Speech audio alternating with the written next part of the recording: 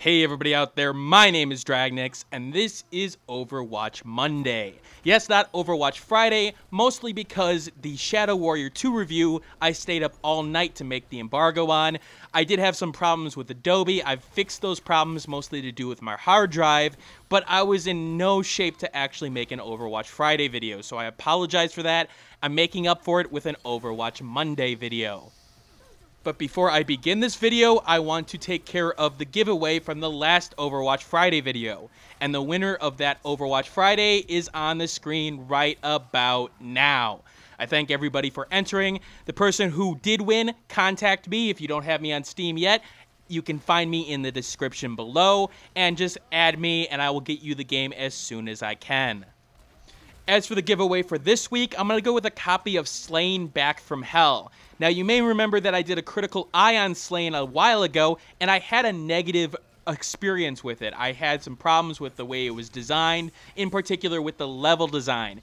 Well, they have fixed a bunch of the issues in question, and while I don't have the sort of time to do a secondary review, aka a follow up review, I do think they have improved the game a little bit. So, how do you enter? Well, it's a little bit different this time.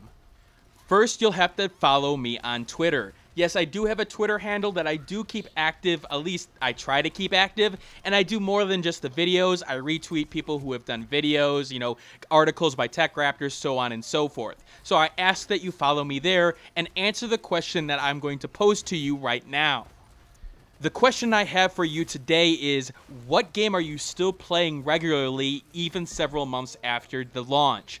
In my case, it's Overwatch, and I'm going to talk a little bit about Overwatch and its staying power. Yes, I have done a video on that before, but it's been a couple of months since it's released now, and I do see concerns from my side. Okay, I see the concerns. I have concerns about whether or not the game can keep it up, especially with the October, November, and December months where bigger games such as Call of Duty, Battlefield are coming out.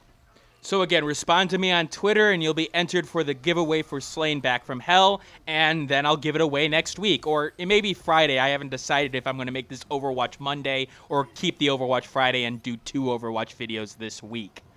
Now, before I get into the actual topic of the video, there's one other thing I wanted to take care of, and that is a challenge from someone regarding the presidential election. The fact is, is that somebody really, really, really, really wants to know who I am going to vote for, which I'm not exactly sure why. And the fact of the matter is, is that this is a gaming channel. This is me. But okay, fine. You want to know who I'm voting for? Here it is.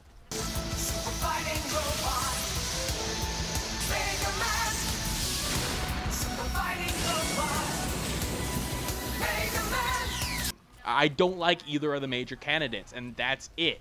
Hillary is not ready to lead this country, in my opinion. The fact of the matter is, is that she handled the WikiLeaks situation and the email situation poorly, and I just don't trust her in charge.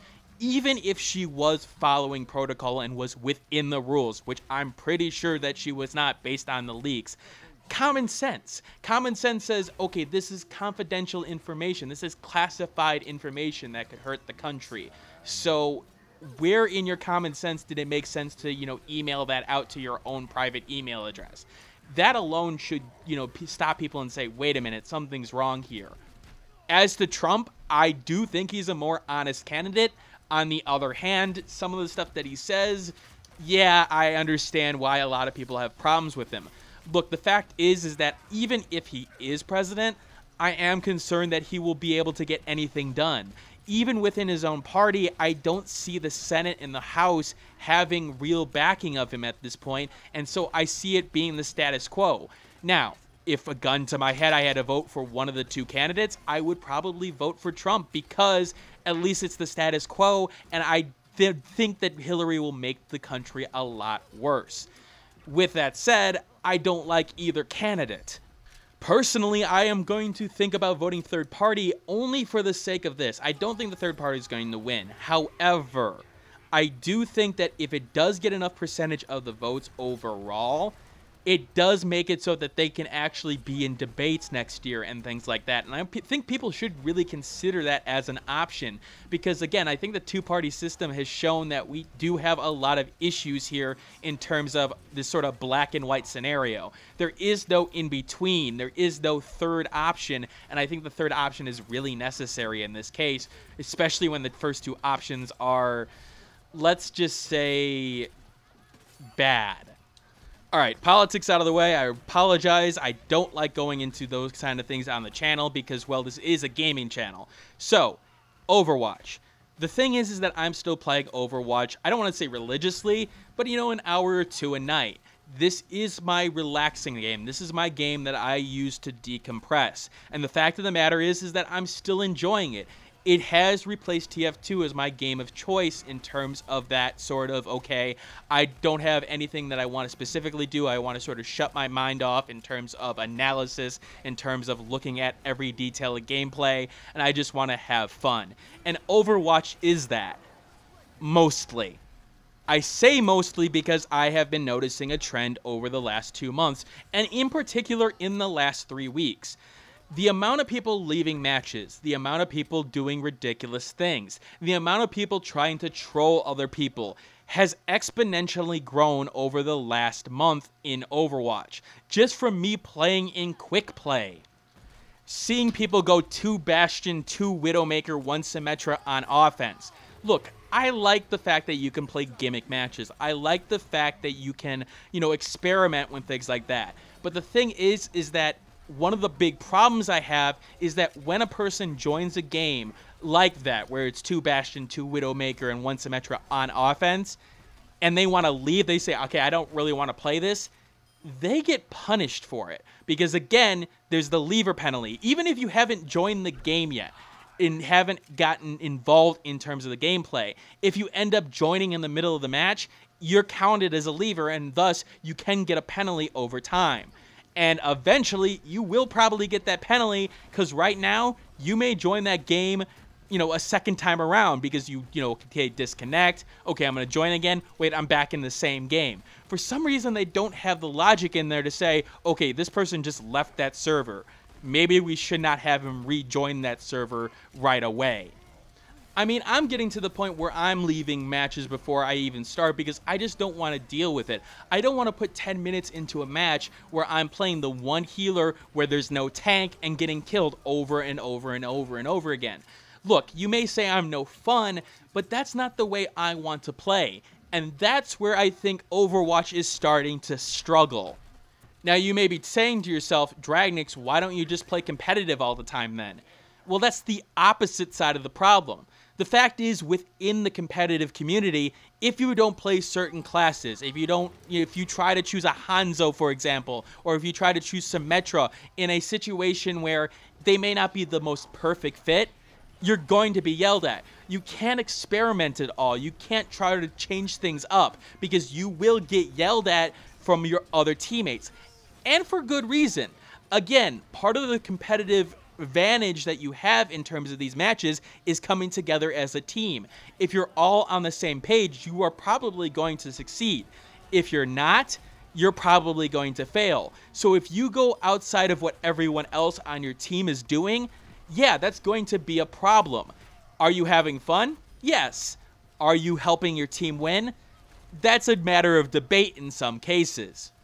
Right now, this all has to do with Overwatch's inflexibility, which is sort of hilarious considering the amount of heroes and the amount of game types they've had in the Brawl mode. The fact is, is that if I want to play a game on a specific map, I can't. Well, okay, I can play a private game and host a game, but if I want to play with public people or people that I don't know, well, guess what? I can't. And that has to do with the inflexibility of their server browser, well, the lack of a server browser, to be honest. That's what a game like TF2 has over Overwatch right now. If I want to play on a specific map right now, I can in TF2. I really can't in Overwatch. Sure, I can host my own game, But the thing is, is that I can't play with public people. I have to invite people, and that can get messy, especially if all my friends aren't online and I don't have the number of friends online at this point to play a game. And even if they are online, will they want to play at this point? the thing is is that I do think Overwatch needs this rather quickly because again, I'm seeing the signs of degradation in terms of people getting bored with the maps, getting bored with the standard play that some people are really still enjoying, but not the majority of people, or at least the majority of people that I've been running into lately.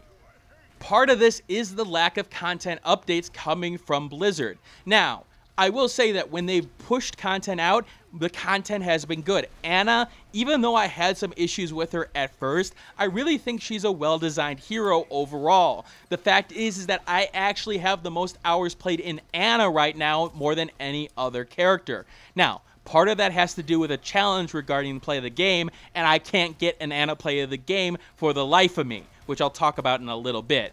But the fact is, is that okay, that hero did reinvigorate things. Even though the Lucio meta had been there for a long time, people started playing Ana. They started experimenting with her, and I see a lot of Anas in gameplay now. I still see a lot of Lucios. I still see a lot of Mercies. But the fact is, Ana did help the game a majority of this problem, in my opinion, has to do with the maps. Now, characters, there is a wide variety of characters at this point, and even though there are certain characters that do well on certain maps, like Roadhog on Well, for example. There's enough variety within the characters to change up your strategies within those maps. But the maps themselves, I think, are the problem. We've got about seven to eight maps in rotation right now. Yes, we have, like, okay, there's three maps within the group of Well, Lighthouse, so on and so forth. But the thing is, is that that's all one set of maps. You can't switch from, like, Lighthouse to the control center in uh, Lijiang Tower. And the thing is, once you play a map over and over again and you don't have control over which map you're playing on, that starts to get old.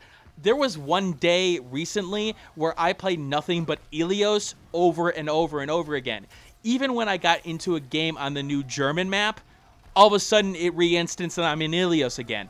And it got boring. I wanted to change out of that, but I couldn't. And thus I stopped playing this concerns me because when I look at what the developer is talking about coming up in terms of the new maps, okay, new maps fine. You have one right around the corner, one that's in, you know, internal testing phases.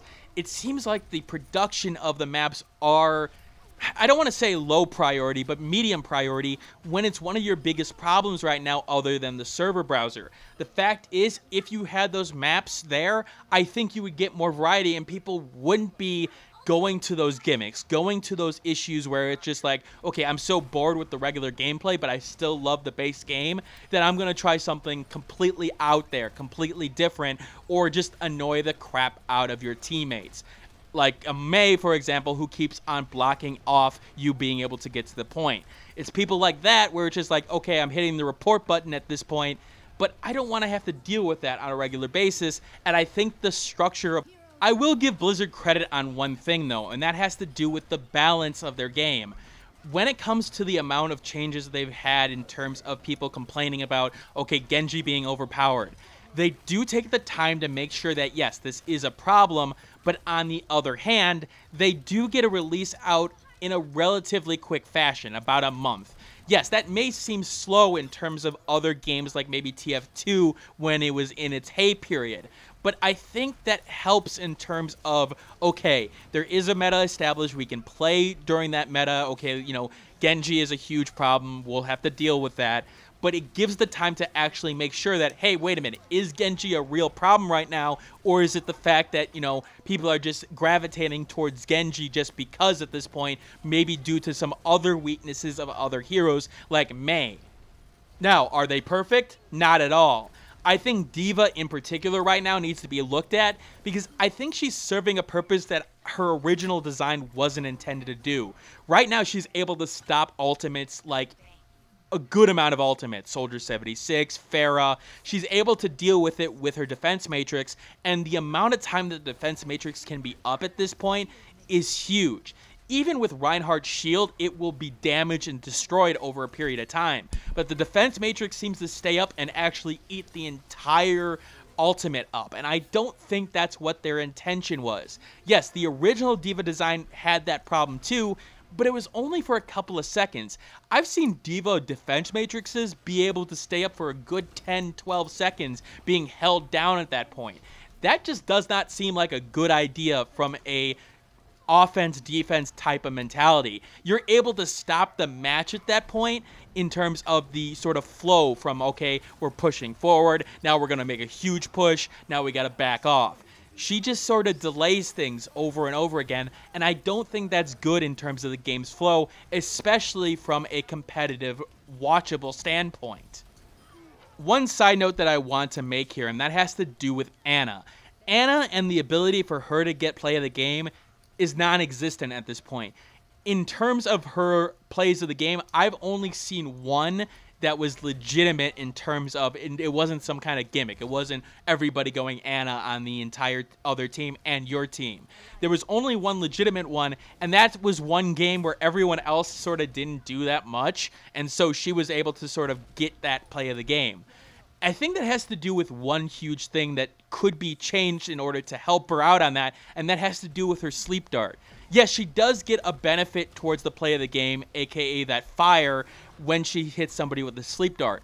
But it doesn't take into account the situation. For example, if she sleep darts an ultimate ability, that is a huge change of pace in terms of the game. If she's able to stop a D.Va or a Roadhog in the middle of their ultimate, okay, maybe not D.Va, but Roadhog in particular, that seems like to be a huge swing in terms of, okay, I stopped them from being able to move forward. I should get a huge boost in terms of that. But for some reason, it only gives you a slight boost in terms of flame. I do think that could be adjusted so that it's a huge output and combined with some healing and combined with maybe a kill or two, that yes, it is worthy of a play of the game because it was a huge point in the match.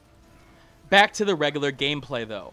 In terms of what is coming up on the plate, Infinite Warfare, Battlefield 1, do I think Overwatch will die during those periods? No. But with the lack of content updates and the lack of the ability to customize your game, I can see a good amount of people going over to those games for that period of time and maybe coming back hoping that something else has changed during that time.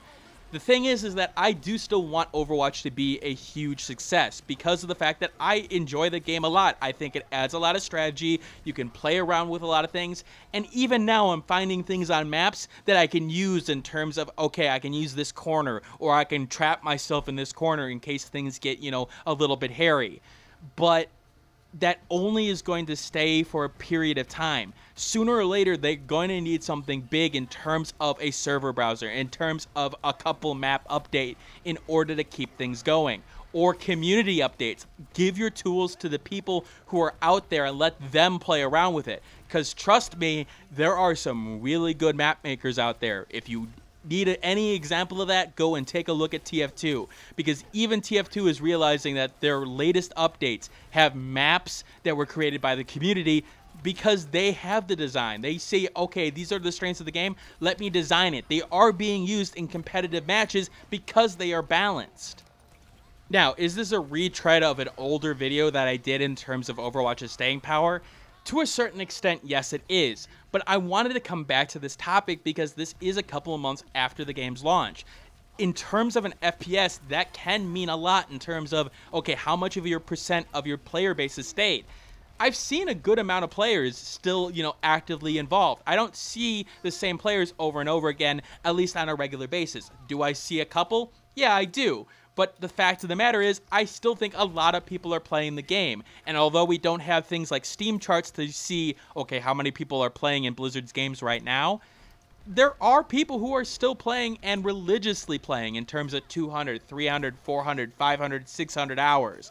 So I do want to see the game succeed. And in order for it to be able to be successful and be something like a Heroes of the Storm, like Hearthstone for Blizzard, they're going to have to up their content in terms of release while keeping the quality. And maybe they need to get the community involved more in terms of the PTR, in terms of, okay, this map has gone through some of the internal testing. Maybe we'll release it a little bit sooner because there'll be more eyes on it in terms of the PTR.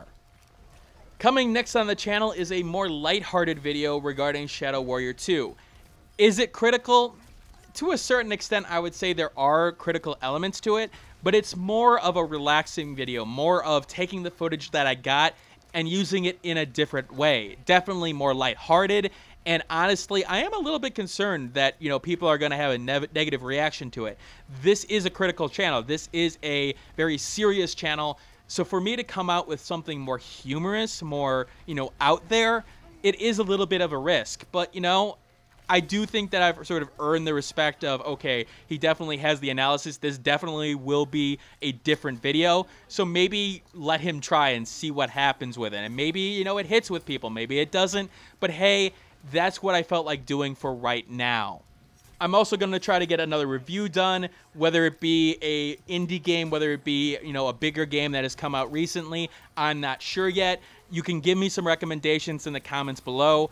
I do still want to go back to Deus Ex Human Revolution, not Human Revolution, Mankind Divided, but I don't know if that's a good one fit for this week. And the fact is, I am dealing with that sort of job offer that I have to consider. I'm also considering just doing the Patreon video. After the sort of back and forth with this job offer thing, I said, okay, this would not be fair to viewers if I did the Patreon thing right now, but it's sort of up in the air still. So a little bit of an update on that one.